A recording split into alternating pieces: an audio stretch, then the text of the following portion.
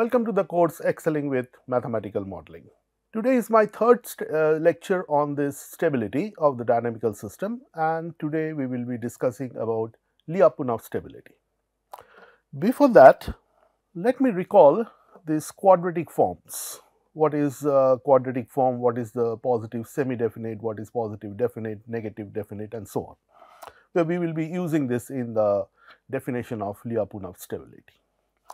So, start with an expression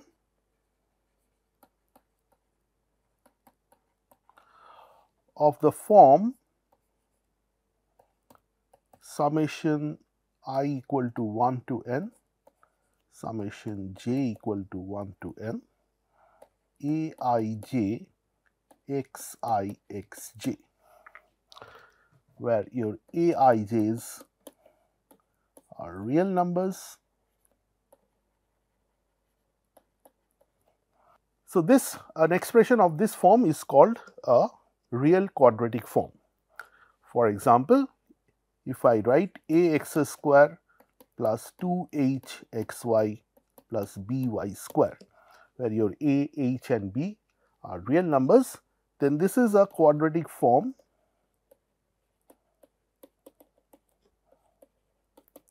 in two variables. The variables are x and y. Similarly, a x square plus b y square plus c z square plus 2 f y z plus 2 g x z plus 2 h x y. This is a quadratic form in three variables. I can put numerics of this ABCs. So, I can write say 4 x square plus 5 x y plus 9 y square. This is a quadratic form of two variables. If I denote this by phi which is equal to i equal to 1 to n, j equal to 1 to n, a i j x i x j. Then there exists a matrix, a unique symmetric matrix such that phi it can be written as some x transpose b x, where b is this unique and symmetric matrix. And we say B to be the matrix of the quadratic form. So, how uh, this is equal to this? Well, we can easily see it with the help of this example. Say, suppose I take this quadratic form 4 x square plus 5 x y plus 9 y square. And I write say b equal to a b h h. If I compare it with this one and this, I will get a as 4, b as 9 and h as 5 by 2 where my x is x y.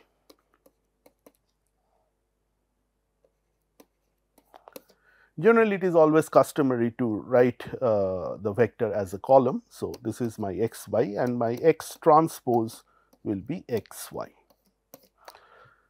So, if I now find what is my x transpose x b here. So, this will be x y, this will be 4 5 by 2, 5 by 2, 9 and this is x y. This is 1 cross 2, this is 2 cross 2 and this is 2 cross 1. So, I multiply this and this number of rows, number of columns are same and you will get 2 cross 1. So, 4x plus 5 by 2 y and 5 by 2 x plus 9 y.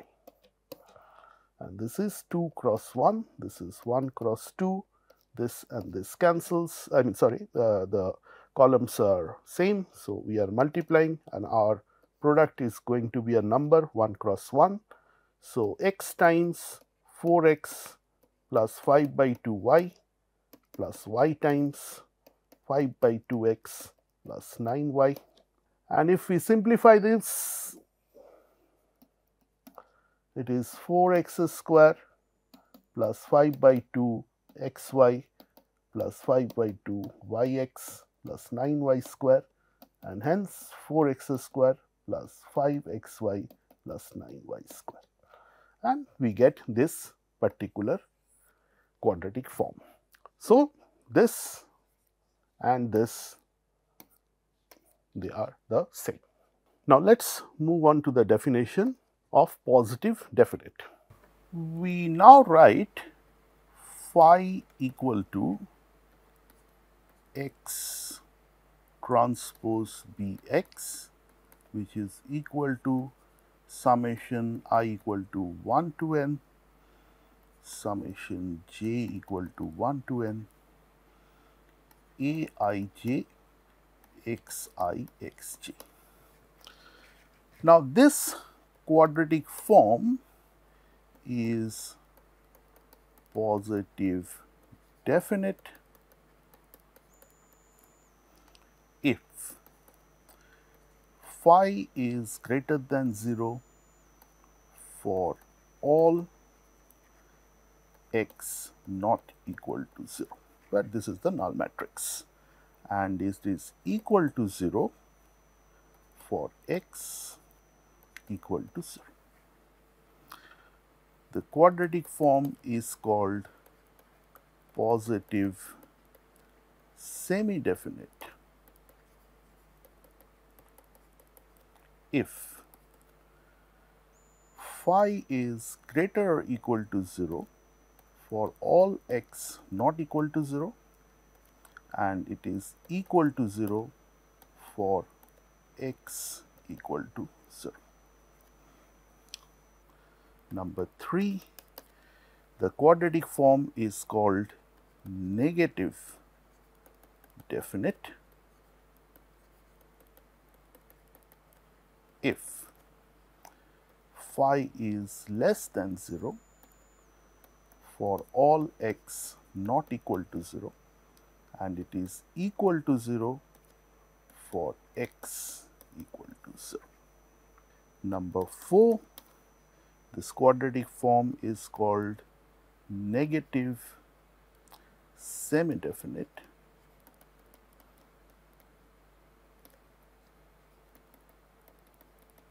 if phi is less or equal to 0 for all x not equal to 0 and this is equal to 0 for x equal to 0. And finally, this quadratic form is called indefinite if phi is greater than 0 for some x not equal to 0 and phi is less than 0 for some x not equal to 0. So, with this definition we now move on. So, with this definition we now move on.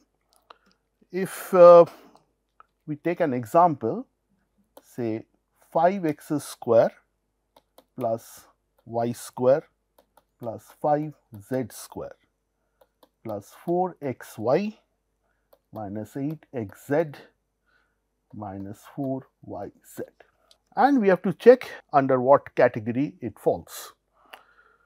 So, the trick is that you try to make this a whole square.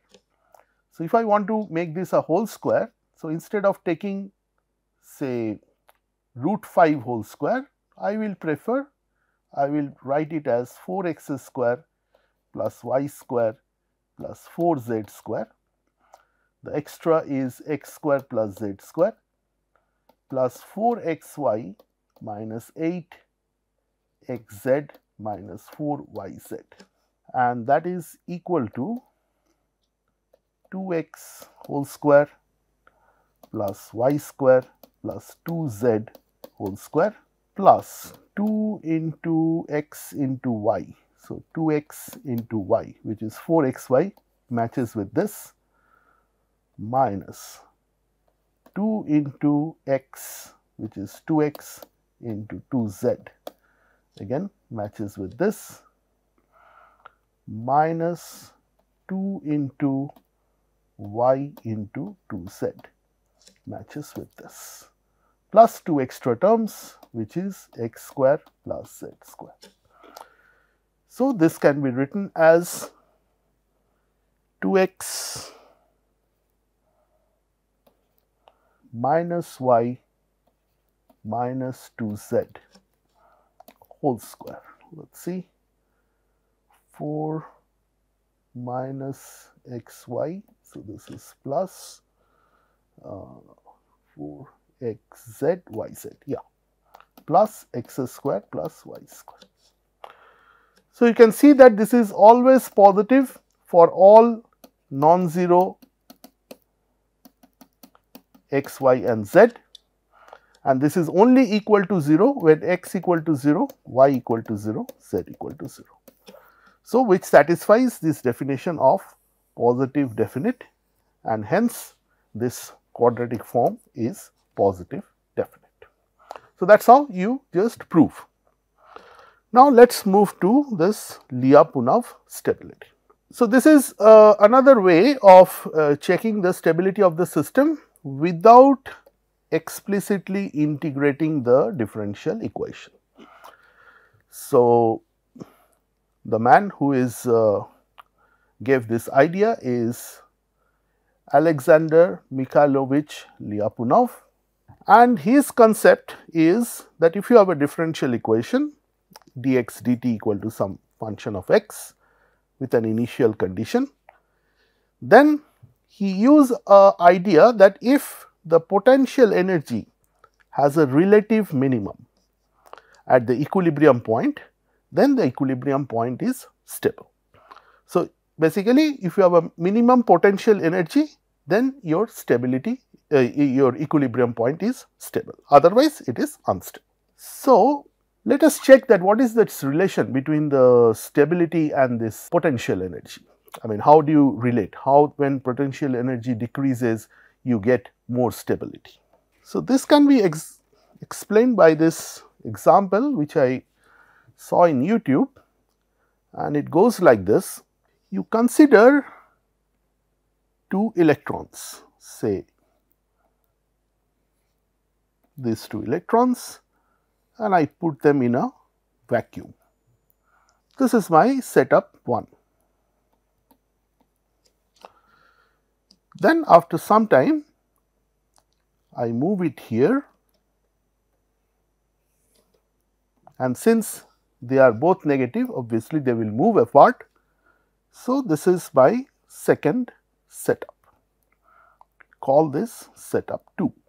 Now, I say that setup 2 is more stable than setup 1. Now, how it is that? So, I say this is stable and this is unstable. So, it is like this that uh, this arrangement 2 it is more preferable by uh, nature than arrangement 1 and why is that? Say you start from an initial condition say from here and if you drop a particle. So, obviously, it will come here oscillate a bit and ultimately it will settle here. So, the nature wants that if you drop anything a particle from here, so it will settle down here. So, in the similar manner that if you keep these two particles as an initial condition and then after some time I move it here and I saw that they moved apart which is obvious because you have two negative electrons and they will move apart. So, hence for nature this is more convenient than this one and hence we say that this system 2 is more stable than system 1. So, unless we have these two of them I cannot compare. So, if only this is there or this is there then it does not make any sense. So, I have to have a second uh, option or second diagram through which I can compare that which one is more stable than the other. So, in this particular case your setup 2 is more stable than setup 1. So, I say that this one is stable and this one is unstable. Say if I take another one is positive, another is negative, put them in vacuum. So, this is again the setup 1 and after some time I will see because one is positive, another is negative, they will attract each other. So, again I say that this is more stable than this one. So, I categorize this as stable and this as unstable. Now, I have moved this from here to here. So, there is some change in energy. So, the question is that what happens to this total energy? And as we know that energy is neither created nor destroyed, it was changes to one form to another form and because it is inside the vacuum this holds true. So, moving this from here to here there is a change in energy and we know that is the kinetic energy. So, I say that let us here the kinetic energy is 0. So, here the kinetic energy is 0 and here say the kinetic energy is 10. Now, the question is where the initial energy comes here and that is where the potential energy comes. So, here inside there is some potential energy. So, this configuration already has an inbuilt potential energy say u equal to say 50 and I moved it from here to here which use this uh, which generates this kinetic energy of unit 10 and since the total energy remains constant in this particular case your u will be 40.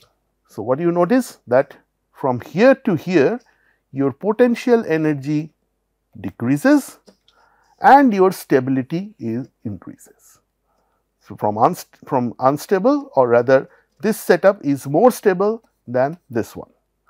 So, as your potential energy decreases your stability increases. The same thing is here from here to here I have moved this frame. So, there is a kinetic energy say that kinetic energy is 15 from moving to here to here initially it was 0 here it was 15 u I take that to be again 50.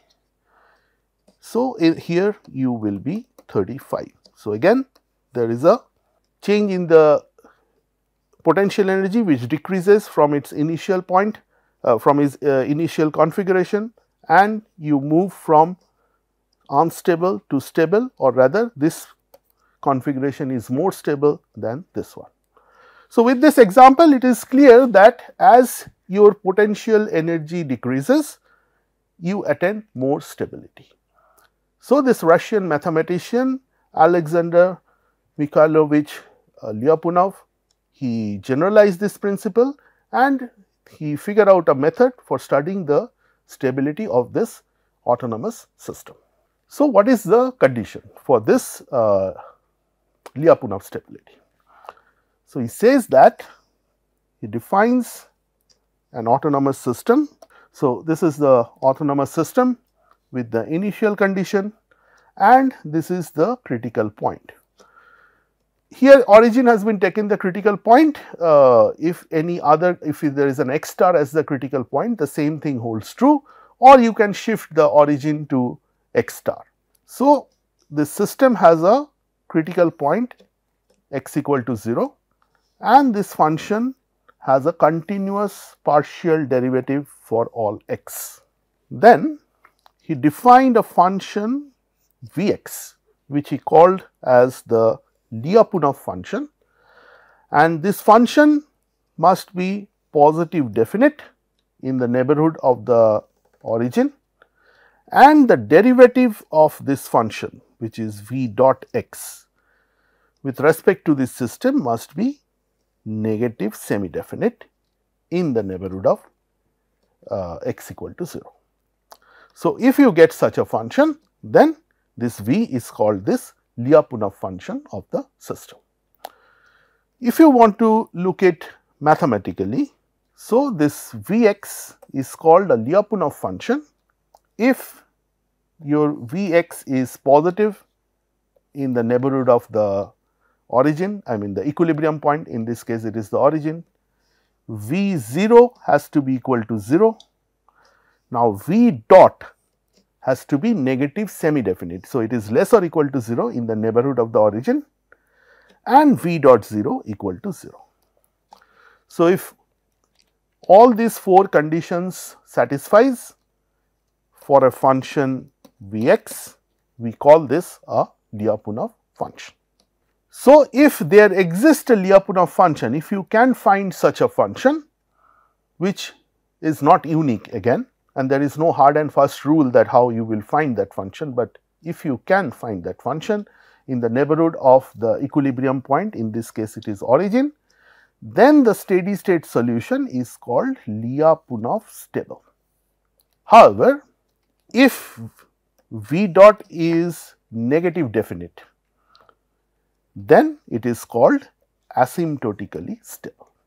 So, we have to just check that whether a Vx exists, then this function has to be positive definite, V0 has to be 0 and the derivative has to be negative semi definite. If it is semi definite, if it is Lyapunov stable, if it is negative definite, it is asymptotically stable. So, this is the result for this Lyapunov stability. Let us check with examples. Uh, as before that, so this is Lyapunov condition for global stability.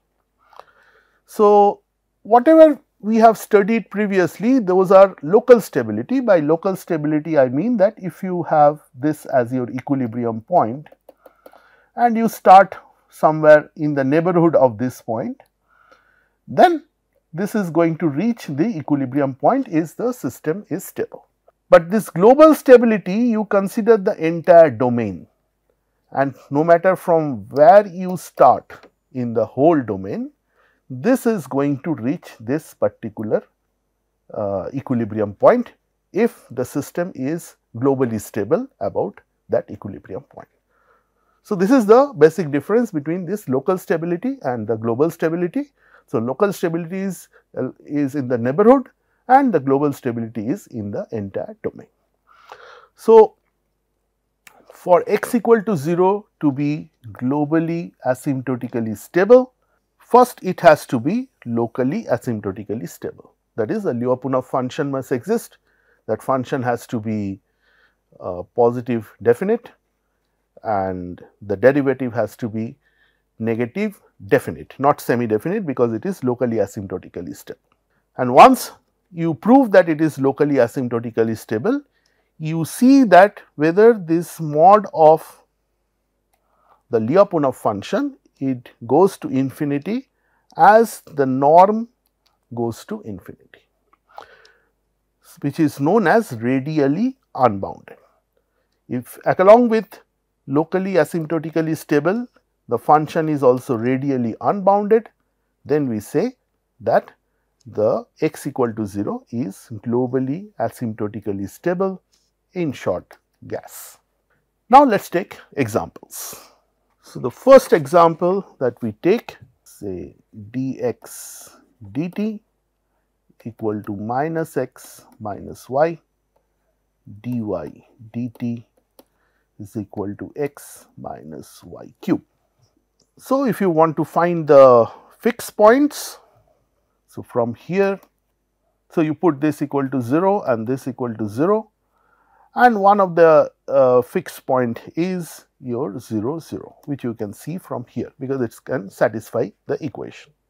So, you find the matrix A which is minus 1 minus 1 1 minus 3 y square and at the point 0 0 you get this value as minus 1, minus 1, 1 and 0. And if you want to calculate the eigenvalue which is minus 1 minus lambda minus 1 1 minus lambda equal to 0. And this is going to give lambda equal to minus half plus minus i root 3 by 2. Well, this is what we have done before and this is also called uh, Lyapunov's first method. What we learned about this Lyapunov function is called Lyapunov's second method or direct method. So, here we define the function Vxy equal to say ax square plus by square, where a and b they are positive constants. Well, obvious question is how I choose this function. Uh, as I told you there is no hard and first rule. After doing looking into examples, uh, few examples you will understand. First of all this function uh, is positive definite because you can see that other than x equal to 0 and y equal to 0, this function is always positive. So, it is positive definite. So, semi we just write this is greater than 0 for all x and y not equal to 0 comma 0 and also v 0 0 is equal to 0. So, very important that you check these two properties. Next comes v dot x y. So, v dot x y is dv dt which is del v del x into x dot plus del v del y into y dot. Now, del v del x from here it is 2 a x and this x dot you substitute from here which is minus x minus y plus del v del y 2 b y and y dot from here which is x minus y cube. Now, you simplify. So, if you simplify it is minus 2 a x square minus 2 a x y plus 2 b y x minus 2 b y to the power 4. So, I get minus 2 a x square minus 2 b y to the power 4 plus 2xy into b minus a. So, this is my v dot.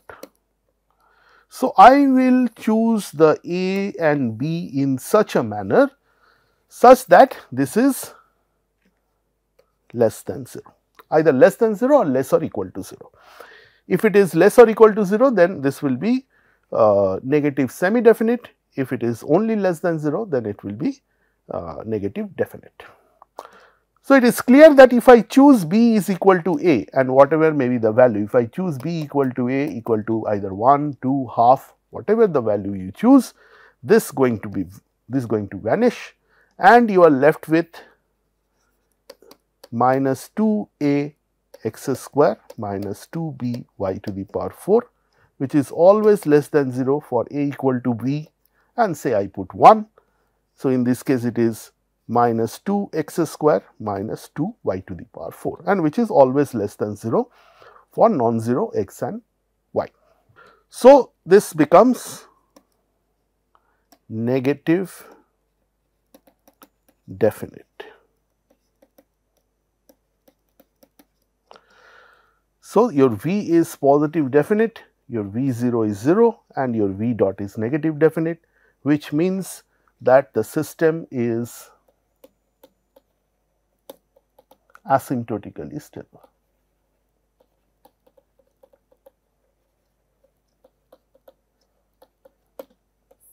So, this is locally stable about the uh, origin or rather asymptotically stable about the origin. Now, let us see whether your Vxy is radially bounded or not. So, I have to find the norm of x and y which is square root of x square plus y square and as x comma y tends to infinity, this also tends to infinity. So, x square plus y square which is the norm here, this tends to infinity and at the same time your vxy which is now x square plus y square, this also tends to infinity.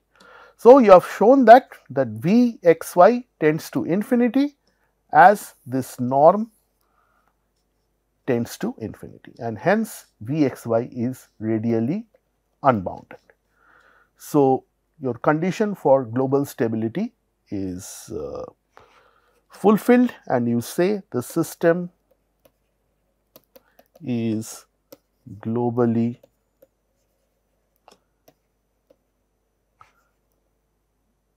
y asymptotically stable. So, to sum up what you have to do is you first find the equilibrium point, then you have to write the Lyapunov function, I mean you have to write the function Vxy and show that it is a Lyapunov function this is totally will come from practice. There is no hard and first rule. By doing few problems, you will understand what kind of function you have to take. And you have to show that this function is a Lyapunov function. That means it has to be positive definite. It has to be 0 at the equilibrium point. In this case, it is origin. And the derivative v dot has to be negative definite or negative semi-definite. In this case, it is negative definite. If you choose b equal to a equal to any value, in this case I have chosen 1. And once it is done, you prove that you show that the system is asymptotically stable. Then you have to show that it is radially unbounded. For that you take the norm and as x y tends to infinity, this norm also goes to infinity and this v x y also goes to infinity. So, by the condition of globally asymptotically stable, the Lyapunov's condition.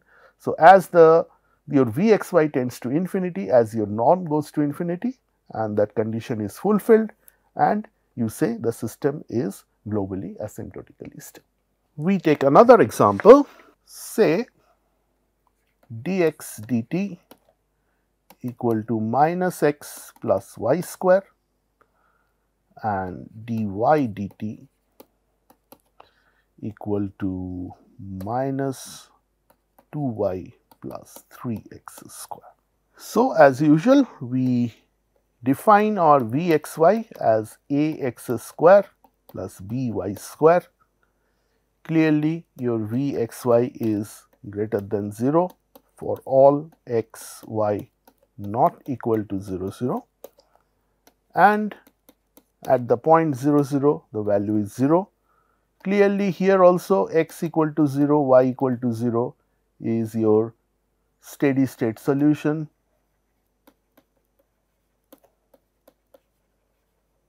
or equilibrium solution because this satisfies this equation. So, I now find what is my V dot. So, your V dot is del V del x into x dot plus del v del y into y dot 2ax into minus x plus y square plus 2by minus 2y plus 3x square. So, if I open this up minus 2ax square plus 2axy square minus 4 b y square plus 6 b x square y. Now, so what you do is here is an x square, here is an x square. So, I take minus 2 x square common. and you get a minus 3by. Similarly, from here I take minus 2y square and it is 2b minus ax. So, the reason I choose minus because I have to show this is less or equal to 0. Now, if I want this to be less or equal to 0, so clearly I must have a minus 3b is greater than 0 and 2b minus ax must be greater than 0. So, if these two are positive quantities clearly then this will be less than 0. So, y. So, the condition becomes a should be greater than 3 yb and y should be less than a by 3b. Similarly, 2b minus ax is greater than 0, 2b must be greater than ax and x should be less than 2b by a. So, if I choose again my a equal to b equal to 1, then I get x must be less than 2, y must be less than 1 by 3.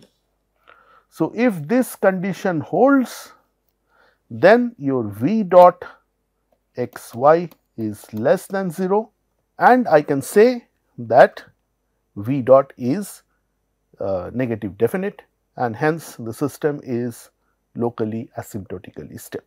But if I choose my A to be say half and B equal to 1 by 4 and if I substitute it here, here and here, I get uh, B is 1 by 4, A is half. I get x is less than 1 and y is less than 2 by 3. So, the condition changes, but you still attain the uh, asymptotic stability. So, this is how your Lyapunov function is being used to calculate the stability of the system. In the next lecture, uh, we will be talking about the phase portrait and the phase plane analysis. Till then, bye bye.